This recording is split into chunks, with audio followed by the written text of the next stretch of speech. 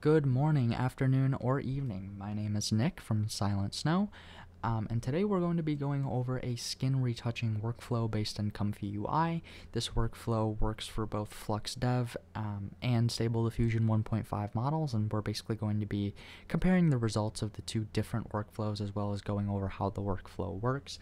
I will not be providing the workflow as of now, but if it's something that interests you, please leave a comment and I'll be sure to respond to you if I do end up dropping it. Because um, I know that there are a lot out there, everyone's kind of got their own way of going about it, but I know that this is generally the process and just kind of wanted to share the results. So um, we'll be comparing, like I said, Flux and Stable Diffusion 1.5, but what you're looking at in front of you is obviously a photograph of President Donald Trump. Um, up here on the top left hand side. On the top left hand side of all these comparison windows will be our base image. So this image here was generated with Flux Dev Quantize. I believe it was Q4 or Q5 along with FP8 and obviously all your clips and VAEs and all that such.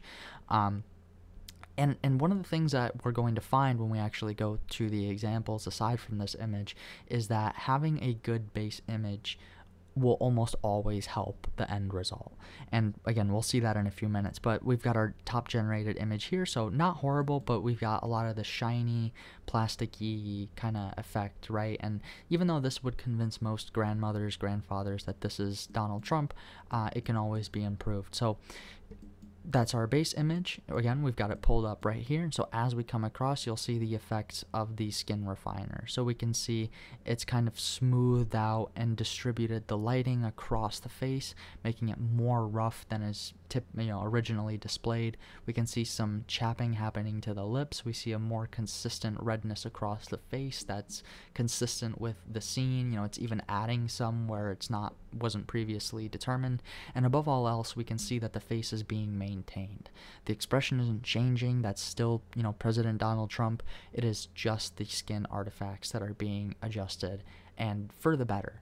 Um, including hair as well, even even some hair effects. Um, included here. So we can go ahead and start moving through the examples. So as we go through these, there are only three examples here. We've got Stable Diffusion 1.5 base skin refinement workflow on the left, and then a Flux Dev Q4, Q5 based workflow here on the right. Um, and I wanted to start off with kind of the, the, the main image when it comes to plastic skin and, and kind of a good example image of, of what is typically meant by plastic skin. So this is a very popular image that has been used for skin refinement workflows as far as I can see across Reddit threads and such.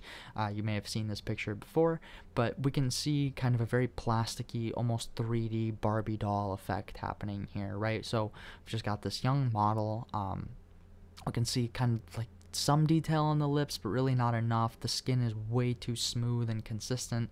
And even though that does is kind of a trend with you know uh, makeup photography, photos, and such, um, there's still a little bit more depth than is being let on here. So we'll start with the Stable Diffusion 1.5 version. So right now we have our default base image on the screen, and when it comes to Stable Diffusion 1.5 with this workflow, it does a pretty good job. Um, again, it, it it's going to be tough with an image like this just because we're trying to bring detail to things that don't necessarily exist and introduce detail to things that don't exist, if that makes sense. Um, but we can see it does a pretty good job. There's a little artifacting on the eyes here, but that's okay. That's nothing that, you know, kind of can't be fixed or when you zoom out, nothing that can't necessarily be ignored at the first glance of an eye. Uh, we see some development to the lips, but honestly, some kind of weird stuff happening around the teeth. But overall, not a bad result. Uh, definitely a much improved version over the original. Um, much more, much more depth, much more life. Uh, definitely feels more alive, at least in my opinion, than the original. Um, correct me if I'm wrong. Uh, again, not perfect, but I think these next results will kind of show that the Stable Diffusion 1.5 does have some pretty good improvement. But on the kind of flip side of the coin, we also have the Flux workflow, which in this case doesn't do as good of a job. We still see, you know, kind of some development, a little more highlighting around the lips. Um, it kind of seems like it took a more marketing approach with the picture and still kind of maintained the uh, plasticky face. So overall, not great. And I think that's kind of one of the limitations of this workflow and skin workflows overall, that they kind of have a hard time.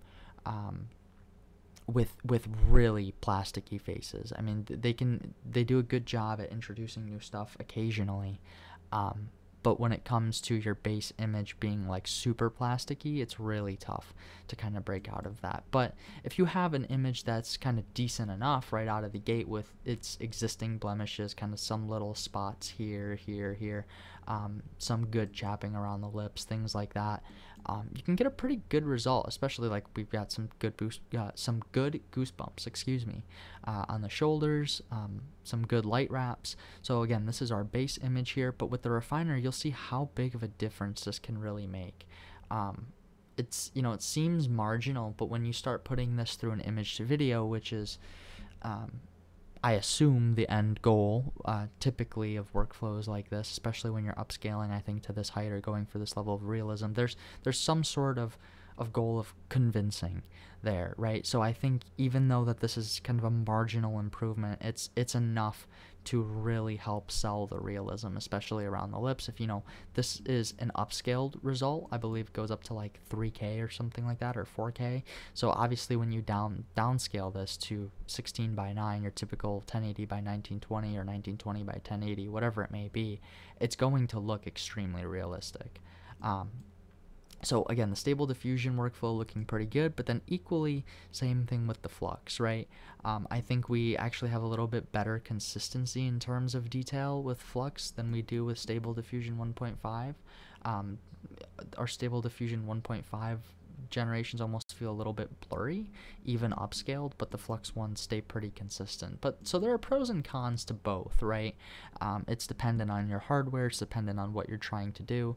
I mean, I think in this case, for me, running on a 3060 Ti i9, by the way, um, I think, which 3060 Ti, by the way, for those who don't know, has eight gigs of VRAM. For me, it's it's beneficial to run both actually and see what better result is. Like in this case, I'd be fine using either result. I wouldn't, you know, complain about either one. But it, it's truly dependent on what you're trying to do. And I think one thing I want to highlight too with the upscaling is we can see details being brought back to life in the clothing and the yarn and the hair. Um, so definitely definitely does the job and does it well. But the last one that I want to show, and, and really the true benefit, I think, is also not just skin refinement, but face refinement in general, um, especially if you have a LoRa that's, you know, I want to integrate ACE++, Plus IP adapter, reactor, any of those things into this workflow, but as of right now, that doesn't seem to be the case. Uh, maybe ControlNet might work, but um, if you have a LoRa it, um, with this workflow, for example, with Donald Trump, you can actually leverage that LoRa to create better results. So in this particular case, I actually wasn't using a LoRa for the Stable Diffusion 1.5 generations when it comes to this particular image. I just was too lazy to go find a Donald Trump LoRa, but when we look at the Flux one, that one does have a Trump-based Flux LoRa applied. Um, but even then, with the Stable Diffusion 1.5, like it doesn't do a bad job. I think with a LoRa, it would have been a little bit better. Like that's still Donald Trump, and it indisputably brings life back to the face, which I think is exactly what we're looking for, right? Especially like with the chin down here, it's you know refines it and then upscales it, which is. It, I mean, it looks great. There's there's no kind of sneaking around that. But the problem comes in when you try and upscale compressed artifacts, right? Because it's not sure how to like upscale that really, or it just upscales it as artifacts. So that's kind of what we're seeing here is low res artifacting on an upscaled high res image. So that can be kind of jarring too, but it's so small you can't really even tell that it's there. So on the Stable Diffusion 1.5 side, still not bad, but I mean, I think the Flux one does a great job. It obviously overkills it a little bit with the sharpen, but maybe that's something that can be done in post. There's some weird stuff happening to the eyes um, that needs to be adjusted. So I would say the one limitation to this workflow is that your image should probably be upscaled going in to avoid this type of kind of eye issues so that the uh, model has a good understanding of where it should be doing stuff essentially and generating. But kind of generally looking at the workflow, we'll start from the beginning. Um, I'm not going to break it down node by node for you.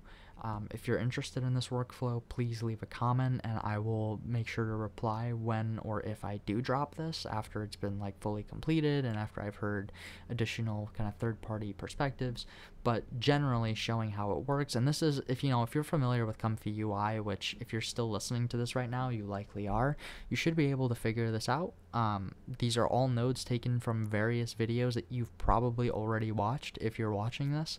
So, um, not going node by node. Let me know if you want it.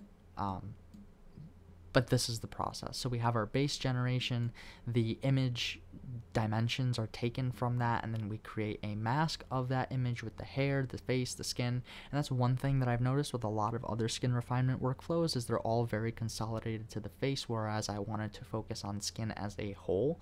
And sure enough, this workflow does do that. It brings life like we looked at back to the um, even like threads and yarn and stuff like that, right? So uh, we'll create our mask, then we basically create our top layer of the image based on that mask, um, which in this case is a stable diffusion generation on top so we can see that the face is still being maintained.